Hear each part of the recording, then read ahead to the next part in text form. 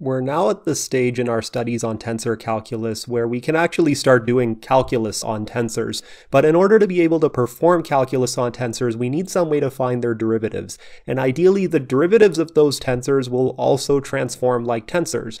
But I'll show you that if we take simple derivatives of tensors, we'll end up with something that's a bit more complicated. Let me demonstrate how. Suppose I have a tensor with a contravariant rank of 1 that I'll call t.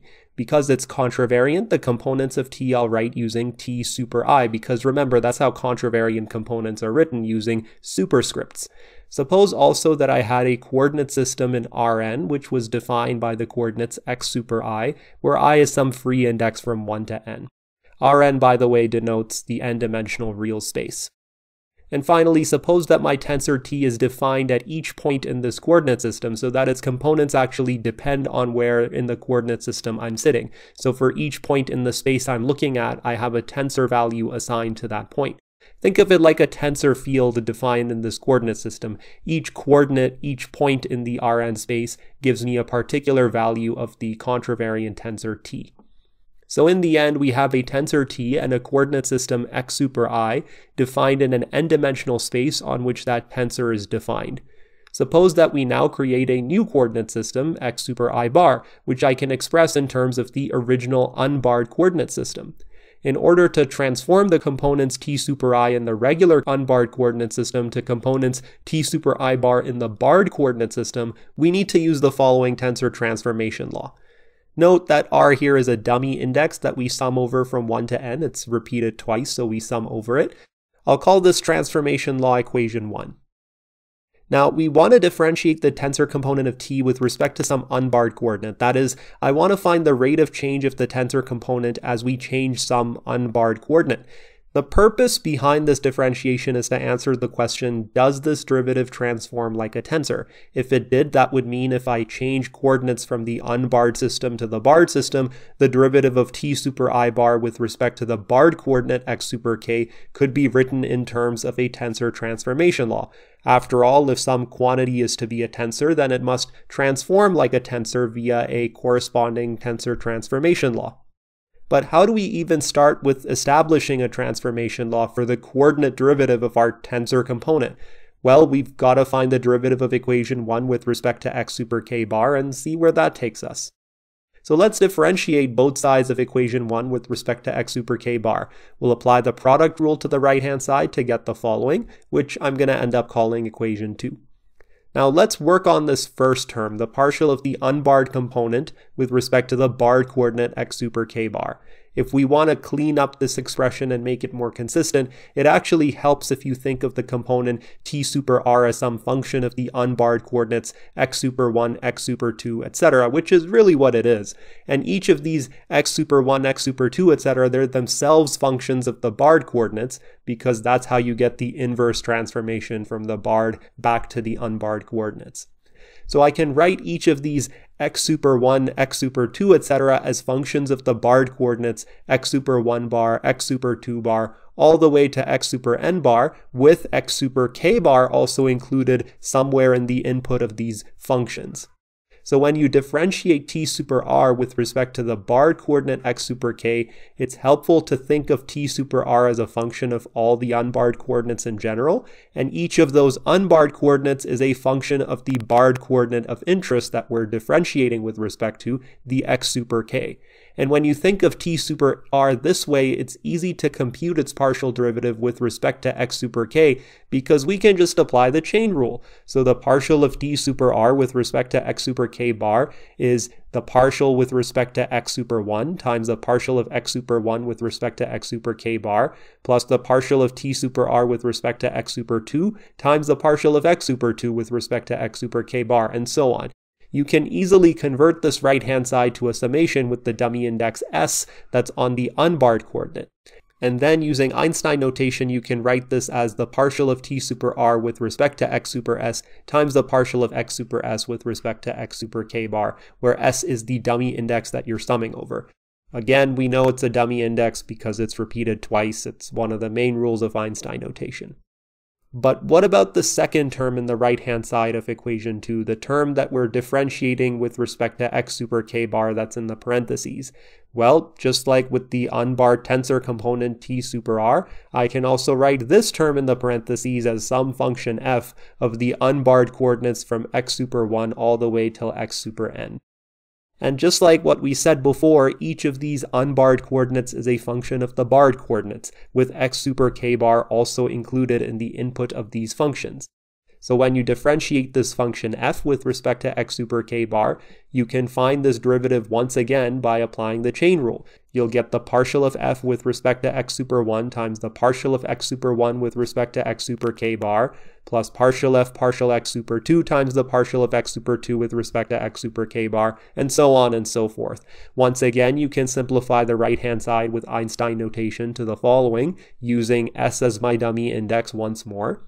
And now from equation 2, we can substitute f as the partial of x super i bar with respect to x super r. If we do that, the expression in the second term on the right-hand side becomes the following, which ultimately simplifies to the mixed partial of x super i bar with respect to x super s and x super r times the partial of x super s with respect to x super k bar. Finally, we'll plug all these expressions into the expression for our transformation law derivative. And ultimately, I will end up with an equation which I'm going to call equation 3. If I completely ignore this mixed partial derivative term on the right-hand side and set it to zero, then you can actually see that this partial derivative of a tensor component does transform like a tensor. In fact, if I ignore the mixed partial derivative term, this equation actually ends up being the transformation law of a mixed tensor of contravariant rank 1 and covariant rank 1. Now, let's go back to a previous video to talk about that mixed tensor. Remember that if I have a mixed tensor A of contravariant rank 1 and covariant rank 1, then its components denoted by A super I sub j, these components transform from the unbarred coordinates to the barred coordinates like so. If you compare this to equation 3 with the mixed partial set to 0, then you can see that as long as the mixed partial is 0, the partial derivative of our tensor component with respect to a coordinate transforms like a mixed tensor of contravariant rank 1 and covariant rank 1. As long as this mixed partial is 0, though, that's the key here. So let's take a step back and take a look at what happened with our differentiation of the tensor component with respect to the coordinate. By taking the derivative with respect to a coordinate of the component of our tensor t, we go from a contravariant rank 1 tensor, our tensor t, to a mixed tensor that has the contravariant rank but now also has a covariant rank. And again, this is only as long as our mixed partial derivative term is zero. I'll keep harping on this. So as long as our mixed partial is zero, differentiation of our contravariant tensor with respect to a coordinate has added to it a covariant rank. The addition of a covariant rank is why differentiating a tensor forms the foundation of covariant differentiation. That's why it's called covariant differentiation, because the action of taking a partial derivative of a tensor component with respect to a coordinate adds on a covariant rank to that tensor component hence covariant differentiation. But I should remind you that the covariant derivative of a tensor is not just the partial derivative of the component of the tensor with respect to the coordinate, it also contains other terms involving things like the Christoffel symbol, but I'll get to that in a future video.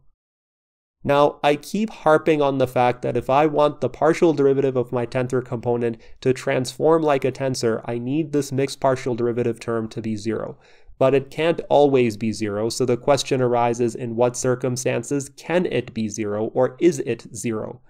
Let's talk about those circumstances. Say my coordinate transformation involves scaling the x super i coordinate system by a factor of k to end up with my barred coordinates. In that case, you can easily deduce that if I took the second partial of this barred coordinate with respect to the unbarred coordinates, I would actually end up with zero. You take the first partial and you'll get the constant k, and then you take the partial of that constant, you obviously get zero. In fact, even if x bar super i were some linear combination of all the unbarred coordinates, these second partial derivatives, these mixed partial derivatives would again all be zero. Why is that? Well, similar idea. If my x bar super i was a linear combination of the unbarred coordinates, then the transformation equation would look something like this, where each coordinate in the barred reference frame is a constant times an unbarred coordinate plus another constant times another unbarred coordinate and so on. If I take the partial of this x bar super i with respect to some unbarred coordinate, I get the corresponding constant that's in front, but then if I take the partial of this first derivative with respect to some other unbarred coordinate, or even the same one for that matter, I get zero because the derivative of a constant is zero. We can actually use this logic to create this little simple rule. The simple derivative of a tensor component follows the transformation law of a tensor component when we have a linear coordinate transformation. Or if you remember a previous video, this is also called an affine coordinate transformation. This basically means a coordinate transformation like scaling up here or a linear combination like down here.